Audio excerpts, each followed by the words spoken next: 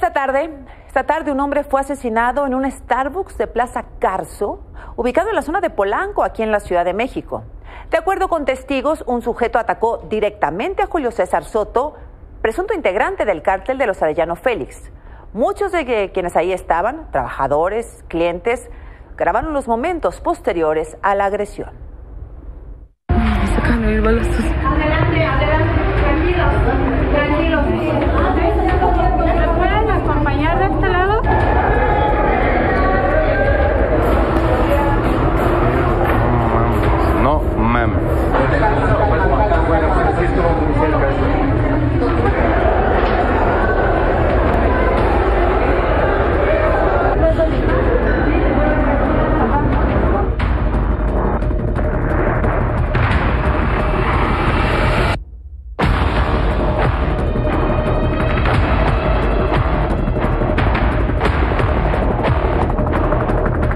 Esta tarde, un hombre fue asesinado a balazos al interior de una cafetería de Plaza Carso en la Ciudad de México.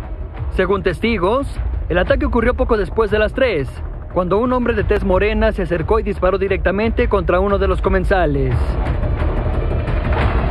Yo me encontraba en el lugar, en el espacio que hay una barra larga en el Starbucks y de pronto se sonó una detonación, incluso vibró como un cohete y al levantar la vista el segundo disparo y después el tercero. Era una persona que llevaba una gorra, huyó en el momento, todos los comensales se tiraron al piso y pues empezamos a arrastrarnos. Tras esta agresión, decenas de personas fueron resguardadas en algunos locales y salieron por la parte de atrás. La seguridad privada del lugar tardó 10 minutos en llegar y la policía capitalina otros 10 minutos. Se creía, o por lo menos en el imaginario había que podía ser algún enfrentamiento y que podían ser entre ellos, entonces nadie, nadie se levantaba, pero no hubo más una ejecución directa hacia una persona. Alcancé a ver al hombre hecho un ovillo en el piso, eh, desangrándose, todo eh, estaba muy bien vestido y todo eh, pues alrededor el escurrimiento de, de, la sangre. Más tarde, el secretario de Seguridad capitalina Omar García Harfuch confirmó que se trató de un ataque directo y que la víctima estaría vinculada a la delincuencia organizada en el norte del país. Autoridades de la Ciudad de México identificaron a este hombre como Julio César Soto Mesa, originario de Tijuana y miembro del cártel de los Arellano Félix. Operaba en la colonia Los Pinos y fue detenido en 2013 por delitos contra la salud. Además contaba con una orden de aprehensión en Estados Unidos, donde se identificaba como César Mesa Soto. También fue investigado en 2015 como presunto responsable de homicidio.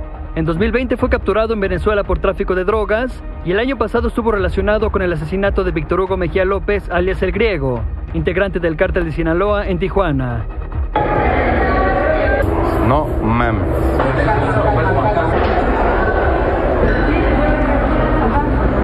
Azucena a las 10. Bueno, pues es una zona con muchas cámaras, evidentemente. La plaza, la zona.